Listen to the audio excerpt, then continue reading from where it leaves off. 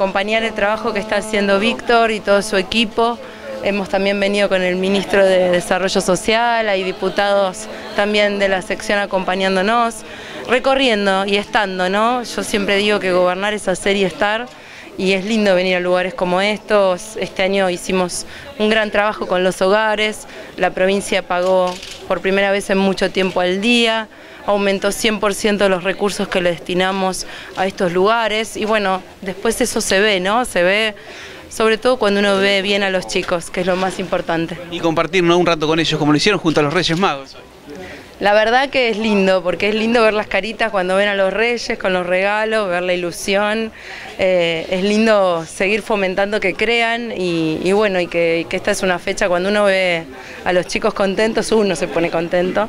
Así que bueno, muy, muy felices de esto y también de todo el trabajo que se está haciendo. Veníamos hablando con el intendente el trabajo de la Ruta 7, que es un compromiso que tomó el presidente y que está cumpliendo y es muy bueno para no solo para Chacabuco, sino para la provincia, eh, el trabajo que está haciendo el intendente con los fondos provinciales de, calles que permitan un mejor acceso a los barrios, barrios que estaban postergados durante muchos años, y el hospital, ¿no? Finalmente llegó la obra de, del ala de internación, 28 eh, años más esperando que, que, se termine, que finalmente esa obra se lleve adelante, la guardia. Así que bueno, también se nota el compromiso del intendente que como buen médico le prestó atención al hospital. Y hoy con una ambulancia también.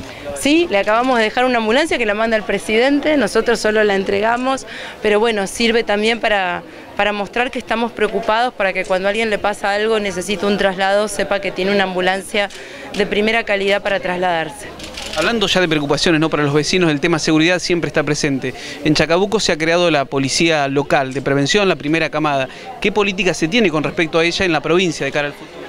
Bueno, nosotros queremos que gradualmente vaya unificándose con la comunal, que no haya tantas policías distintas, que asuman responsabilidades claras eh, y también que ir trabajando en lo más importante que es tener un policía que tenga todo lo que necesita para trabajar, ¿no?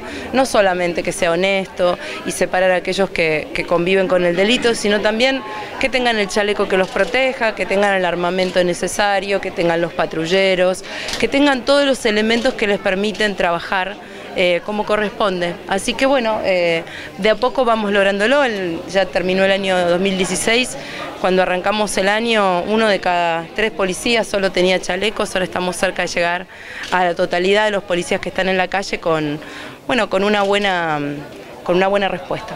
Última pregunta. ¿Podrá hacer algo usted a través de la gobernación en favor del tren a retiro que hace seis meses Chacabuco y localidades intermedias carecen de ese servicio, que es lamentable porque es útil para la gente en poca condición económica y no puede viajar en colectivo, que es muy caro. Lo sé, lo sé, nosotros suspendimos el servicio porque no reunía las condiciones de seguridad, no vamos a dejar que nadie se suba a un tren en la provincia sin garantizar las condiciones de seguridad adecuadas, esa es la prioridad, pero estamos trabajando tanto desde Nación como de provincia para que, para que eso funcione mejor.